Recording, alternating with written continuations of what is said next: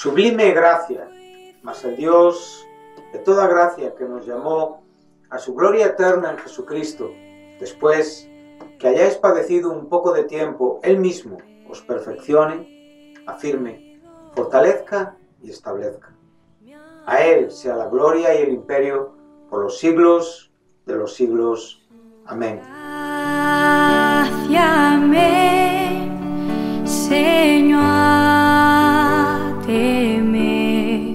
Sublime Gracia es un programa que presenta breves reflexiones fundamentadas en la palabra de Dios. Es un deseo y necesidad de mi propio corazón de conocer más profundamente a este nuestro Dios de toda gracia que nos llamó a su gloria eterna en Jesucristo.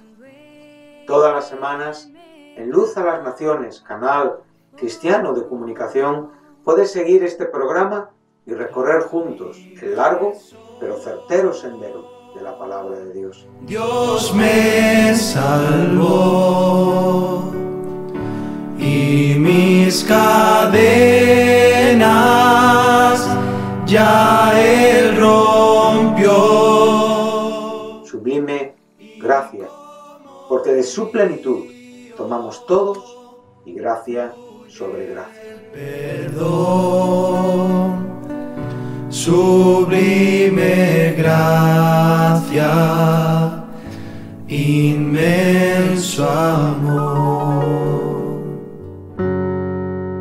Estamos eh, hablando de una porción de las escrituras que se encuentra en la carta a los hebreos, en el capítulo 2, entre el versículo 1 y 4.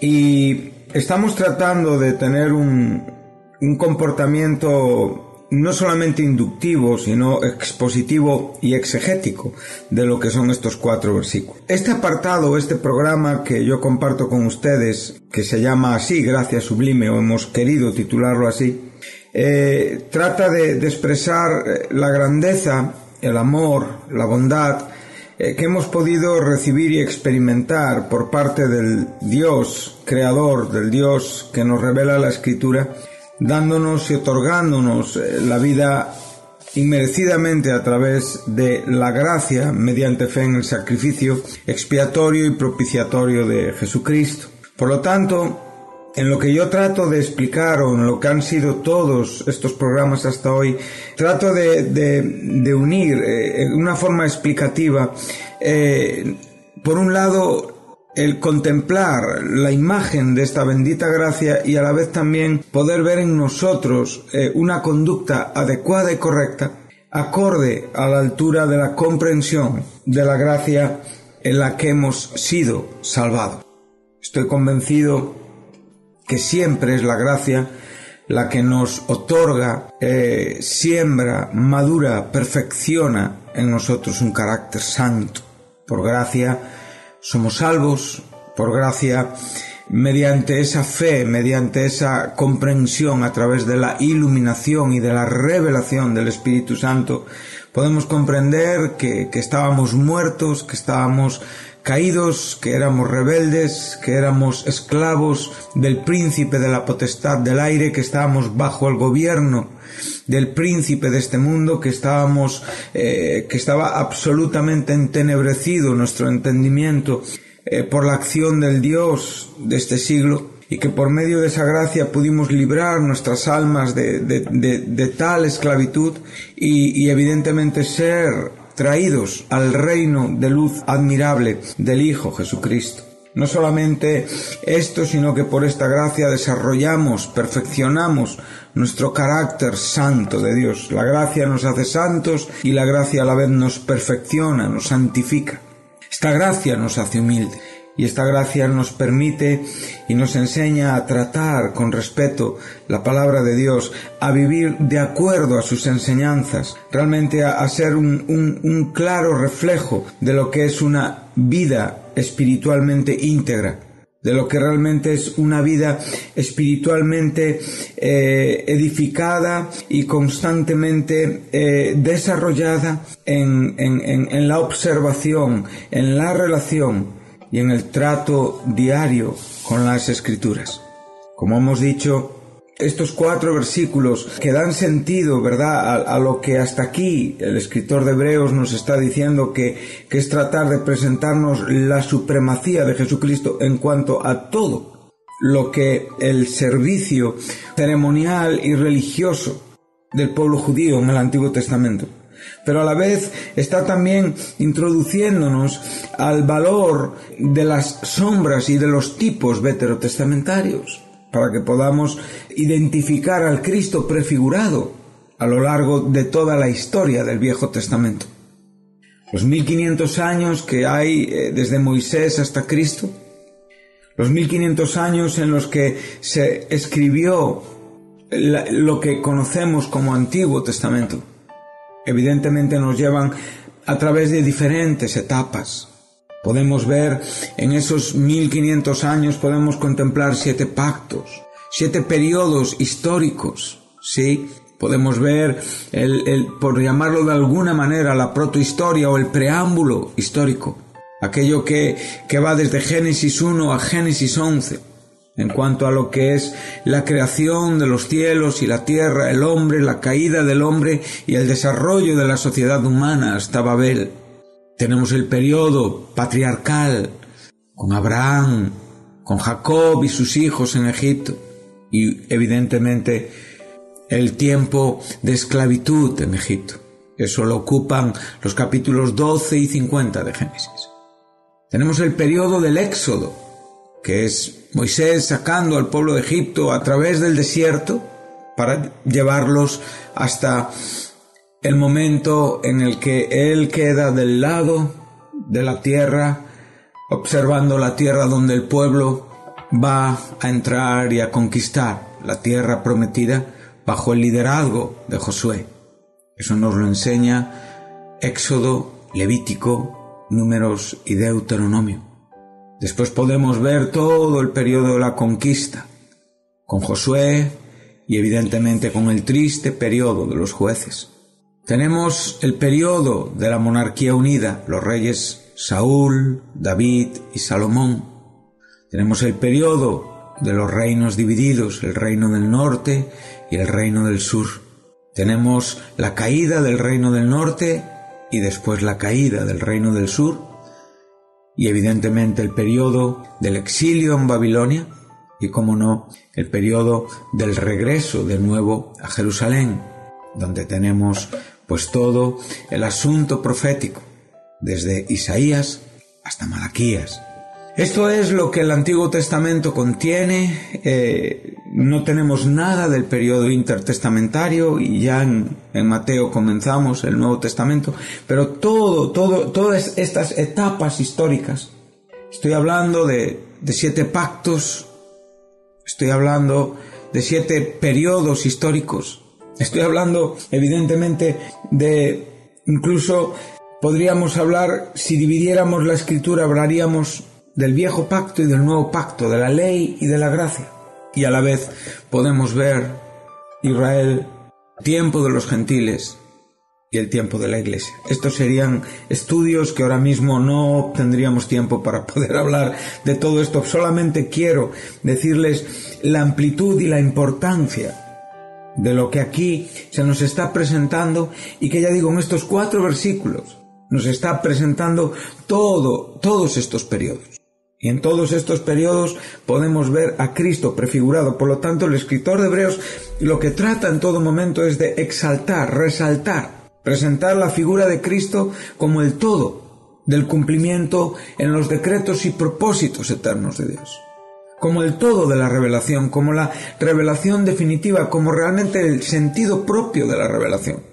Por eso Él está diciendo que, que Dios, habiendo hablado muchas veces, y eso es todo el periodo veterotestamentario, muchas veces, Dios ha hablado muchas veces, desde la creación hasta Cristo. En otro tiempo, a los padres. Cuando hablamos de padres estamos hablando evidentemente del pueblo judío, de aquellos, de aquellos que Dios escogió para que de ellos viniera Cristo. Incluso a nosotros, fíjese las palabras que dice el apóstol Pablo en su epístola a los Gálatas. Por un momento me viene este texto, creo que sería muy importante eh, citárselo y, y, y recordarlo. Gálatas 3, versículo 7, dice así, Sabed por tanto que los que son de la fe, estos son hijos de Abraham. Por lo tanto, en estas palabras a los padres se está hablando, evidentemente, se está remontando a los patriarcas. Y se está remontando a estos hombres a quienes también les fue revelada la palabra de Dios, a quienes también evidentemente tuvieron una revelación de Jesucristo y a la vez a aquellos de quien el propio Jesús dijo que la salvación viene de los judíos. Esto fue lo que le dijo Jesús a la, a la mujer samaritana, tocante incluso a, a la verdadera adoración. Por lo tanto, eh, el Evangelio, como digo, muchas veces está en un estado embrionario a través del Antiguo Testamento, pero está perfectamente latente, ¿sí? Porque Él está diciendo, vosotros adoráis lo que no sabéis, nosotros adoramos lo que sabemos, porque la salvación viene de los judíos. Y el propio Cristo dice, la hora viene y ahora es, cuando los verdaderos adoradores adorarán al Padre en espíritu y en verdad, porque también el Padre tales adoradores busca que le adoren. Dios es espíritu y los que le adoran en espíritu y en verdad es necesario que le adoren. Por lo tanto, todo, todo, toda esta revelación que Cristo está presentando ahí en, junto a la mujer samaritana en el pozo de Jacob, está tratando con estas cosas, con todo lo que está gestándose, pero que que el hecho de gestarse no quiere decir que, que, que, no esté en una manera perfecta, porque evidentemente el propósito de Dios siempre está en una manera perfecta, aun cuando no se ha llevado a cabo el cumplimiento, digamos, en la propia dispensación o en el momento establecido por el decreto o el consejo anticipado de Dios. Por lo tanto, claramente podemos comprender que esta verdad en la que Dios habló muchas veces, y de muchas maneras, o sea, evidentemente él habló de muchas maneras, él habló en, en, una forma en la que conocemos revelación natural, él cuando creó los cielos y la tierra, él habló. Él cuando hizo todas las separaciones hasta la creación del hombre, él habló. Él, eso da testimonio de su eterno poder y de su deidad. Es un argumento, es una revelación natural, como bien nos dice Pablo en Romanos 1 entre el 18 y el 20. Porque lo que de Dios es conocido, eh, su eterno poder, su deidad, es manifiesto por medio de las cosas hechas. Por lo tanto, Él habló. Después, Él siguió hablando. Él habló en el huerto, Él se reveló al hombre en, antes de la caída y después de la caída. Él habló con Caín, él habló incluso al, principio de la sociedad pagana, a esa terrible sociedad que podemos verla en el capítulo 11 de Génesis, tratando de conquistar el mundo con ese Nimrod, sí, fundador de lo que en la Biblia conocemos como Babilonia y que espiritualmente va a través de la escritura desde Génesis hasta Apocalipsis en su significado pagano y que hoy en este mundo podemos ver este espíritu que era poderoso delante de Jehová, la palabra ahí que estaba en contra de Jehová. Por lo tanto, evidentemente, vemos que Dios habló, confundió, estableció, pero a la vez, ya en el capítulo 12, vemos que Dios llama a un hombre desde Ur de los Caldeos le saca de una tierra de, de, de absoluta adoración pagana, del, del, del paganismo en estado puro, y lo trae a la tierra, al propósito, le habla al corazón, le, le, le reta en fe. Y aquí tenemos posiblemente el momento en el que, aquí podríamos decir, eh, el escritor de Hebreos se esté refiriendo posiblemente con más incidencia o énfasis, pero Dios ha hablado antes. Y a partir de aquí, Dios estuvo hablando con Abraham a lo largo de toda su experiencia. A él le, le, dio la promesa maravillosa que de su simiente, en su simiente, serían benditas todas las naciones de la tierra. Se lo dijo cuando, cuando le llamó de Ur. Se lo dijo en el capítulo 15 de Génesis, donde Abraham en cierta manera dirigió a Dios estas palabras después de, después de haber experimentado con, con ese eh, misterioso Melquisedec que este libro de Hebreos nos revela como, como semejante al Hijo de Dios, como un, como un, como una cristofanía, como una manifestación de Cristo antes de su encarnación. Y como exactamente después de toda esta experiencia, cuando Él no quiso tomar botín de su batalla y derrota con esos, con esa alianza de reyes para poder liberar a su sobrino Lot. Él ahí claramente le dice a Dios, pero no tengo descendiente.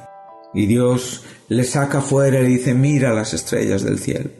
Así va a ser tu descendencia. Claro que, que evidentemente eh, aquí estamos hablando de, de, un lenguaje figurado, ¿verdad? Aquí Dios está tratando de, de llevar nuestra imaginación a, a, a, esa, a esa expresión del lenguaje figurado donde podemos decir, está hablando de las estrellas del cielo, de la arena del mar, que es una expresión, una expresión que se repite muchas veces en la Biblia para mostrarnos la, el alcance y la cantidad del fruto de aquellos que realmente serán salvos.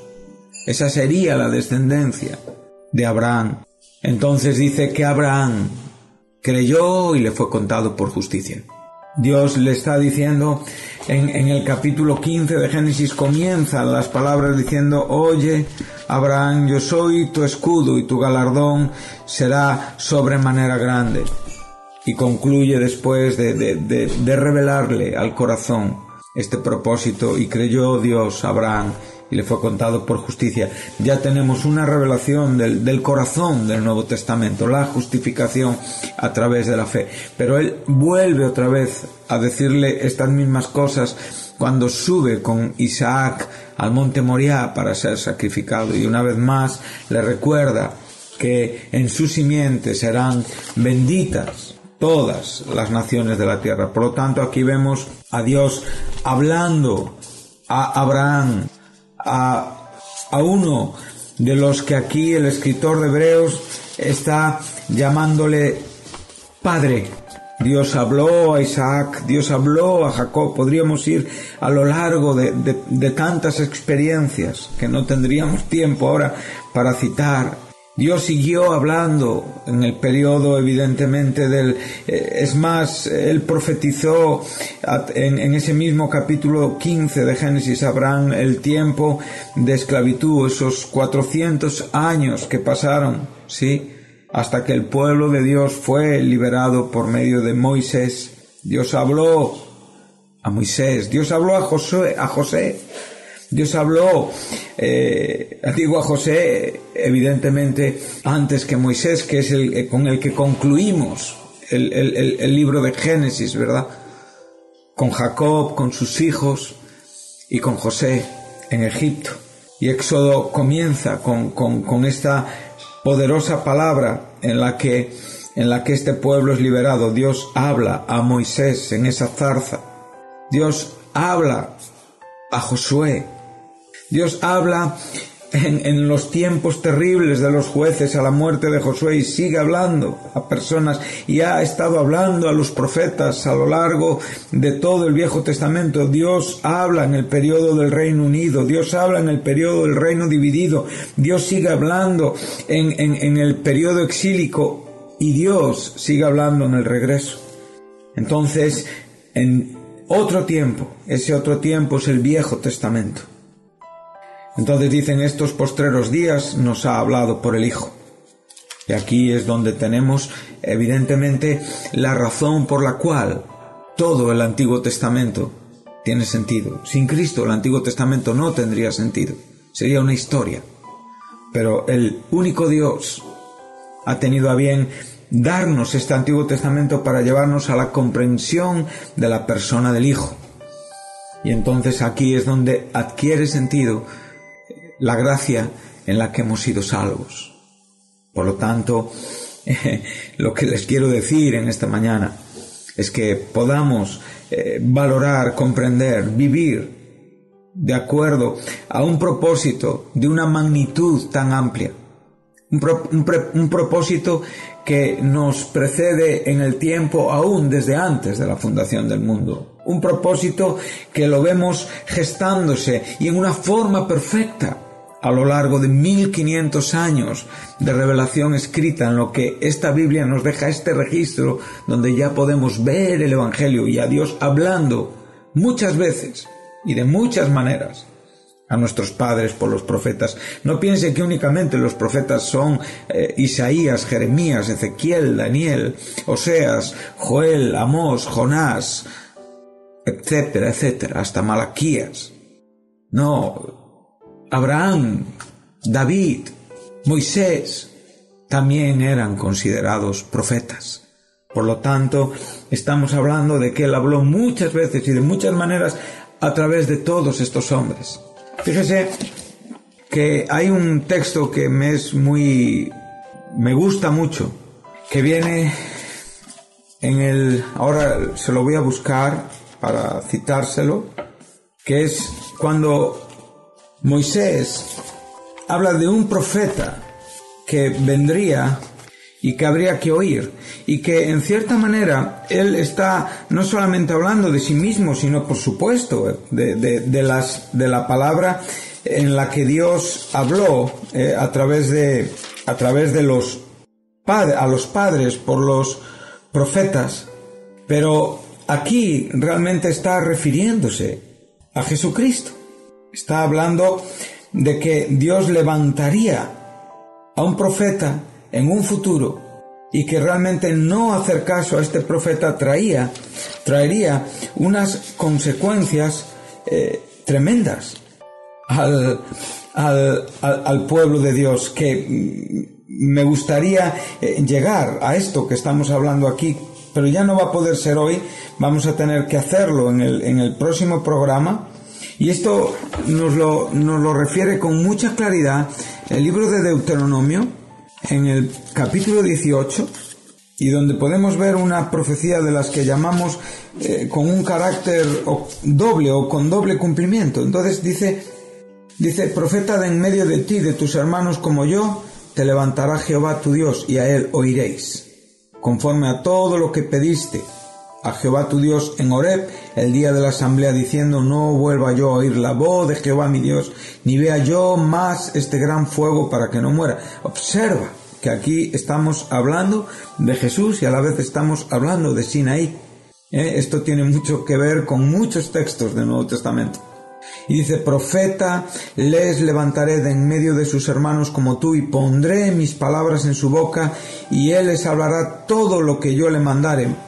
Mas a cualquiera que no oyere mis palabras, que él hablara en mi nombre, yo le pediré cuenta. Y después empieza a hablar del carácter de los profetas del propio tiempo de Moisés y posteriores a Moisés. Pero aquí realmente está hablando del Hijo. Y el propio Pedro, en el pórtico de Salomón, en ese discurso que, que Dios, que, que Dios le dio cuando sanaron al, al, cojo y teniendo, el, eh, teniendo al, cojo en, en- en su presencia, él dijo, Moisés dijo a los padres, aquí tienes el texto de Hebreos, Dios habló muchas veces a los padres por los profetas, el Señor vuestro Dios os levantará profeta entre vuestros hermanos como a mí, a él oiréis en todas las cosas que os hablen.